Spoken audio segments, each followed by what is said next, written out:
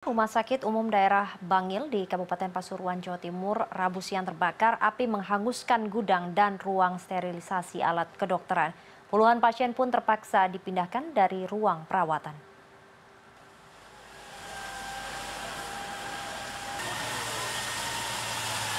Kepulan asap tebal berwarna hitam pekat membumbung dari ruang CSSD atau ruang sterilisasi alat kedokteran dan gudang penyimpanan barang bekas di RSUD Bangil yang terletak di Jalan Raya Raci, Kecamatan Bangil, Kabupaten Pasuruan, Rabu siang.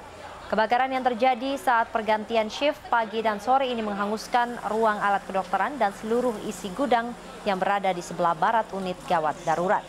Untuk memadamkan api, tiga unit mobil pemadam kebakaran dan bantuan mobil tangki air dikerahkan agar api tidak merambat ke ruang pasien. Puluhan pasien pun dipindahkan ke berbagai ruang yang aman dari asap, salah satunya di ruang rawat jantung.